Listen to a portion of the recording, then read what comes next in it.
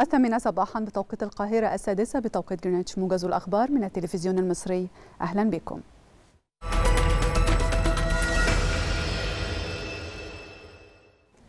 تفقد الرئيس عبد الفتاح السيسي الأعمال الإنشائية لتطوير عدد من الطرق والمحاور بالقاهرة الكبرى.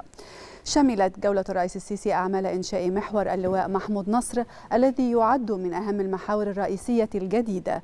كما قام الرئيس السيسي بالإطمئنان من العاملين على سير العمل في هذا المحور المهم الذي سيسهم في تغيير الشكل المري في القاهرة وخدمة المواطنين.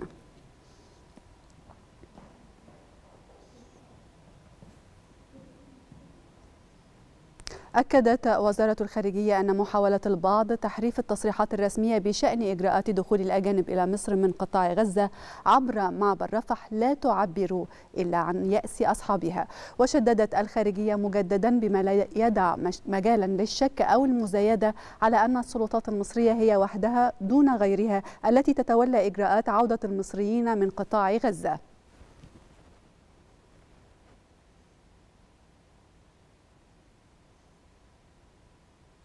أكد وزير الخارجية سامح شكري ضرورة تحمل الأطراف الدولية مسؤولياتها لدعم وقف إطلاق النار في قطاع غزة وإنهاء المعاناة الإنسانية للمدنيين الفلسطينيين. جاء ذلك خلال اللقاء الذي عقده وزير الخارجية في واشنطن مع منسق البيت الأبيض للشرق الأوسط بريت ماكاغورك حيث تركز اللقاء على تردي الأوضاع الإنسانية والأمنية في غزة.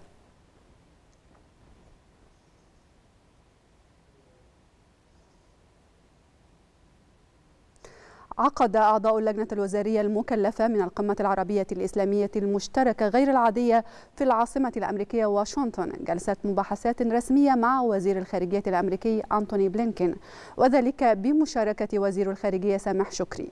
شدد أعضاء اللجنة الوزارية على مطالبتهم الولايات المتحدة بتحمل مسؤولياتها واتخاذ ما يلزم من إجراءات لدفع الاحتلال الإسرائيلي نحو الوقف الفوري لإطلاق النار في غزة معبرين عن امتعاضهم جراء استخدام الولايات المتحدة حق النقد الفيتو الذي منع صدور قرار عن مجلس الأمن الدولي يدعو وللمرة الثانية للوقوف الفوري أو للوقف الفوري لإطلاق النار في قطاع غزة لأسباب إنسانية. وجدد أعضاء اللجنة الوزارية موقفهم الموحد إزاء رفض مواصلة العدوان الإسرائيلي على قطاع غزة.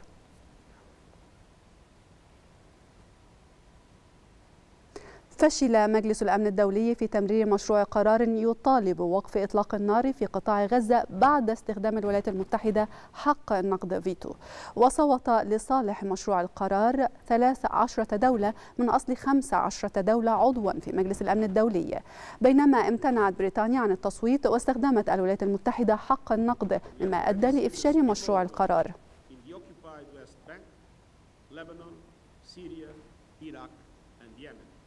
دعا الرئيس الفلسطيني محمود عباس إلى وقف فوري للعدوان الإسرائيلي على قطاع غزة وعقد مؤتمر دولي للسلام لوضع حل سياسي دائم يؤدي إلى إقامة دولة فلسطينية. وقال الرئيس الفلسطيني إن الصراع الإسرائيلي الفلسطيني بصفة عامة قد وصل إلى مرحلة خطيرة تتطلب مؤتمرا دوليا وضمانات من قبل القوى العالمية مشيرا إلى أنه بالتوازي مع العدوان على قطاع غزة زادت قوات الاحتلال الإسرائيلي من هجماتها في جميع جميع أنحاء الضفة الغربية المحتلة مع تصاعد العنف من قبل المستوطنين الإسرائيليين ضد البلدات والقرى الفلسطينية. استشهد وأصيب عشرات الفلسطينيين فجر اليوم جراء قصف إسرائيلي على مدينتي غزة ورفح جنوب القطاع وأكدت مصادر محلية استشهاد خمسة فلسطينيين وإصابة عدد آخر. جراء قصف إسرائيلي استهدف منزلا مأهولا غرب معبر رفح جنوب القطاع. كما استشهد وأصيب العشرات في قصف إسرائيلي لمنازل مأهولة في محيط مجمع الصحابة الطبية وسط غزة.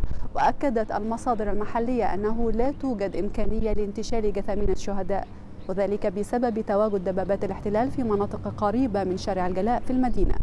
كما استهدفت قوات الاحتلال منزلا في مخيم البريج وأرض أبو مهادي شمال النصيرات وسط القطاع وقصفت عدة مواقع شمال ووسط وجنوب القطاع.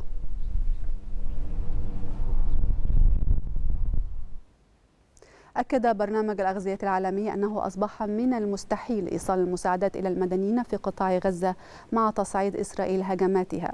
وقال نائب المدير التنفيذي لبرنامج الأغذية العالمي كارل سكاو بعد زيارة للقطاع أنه مع انهيار القانون والنظام فإن أي عملية إنسانية ذات جدوى باتت مستحيلة وأضاف أنه مع وصول جزء صغير للغاية من الإمدادات الغذائية اللازمة والغياب الصارخ للوقود وانقطاع أنظمة الاتصالات وانعدام الأمن لموظفي البرنامج لا يمكن للبرنامج القيام بعمله.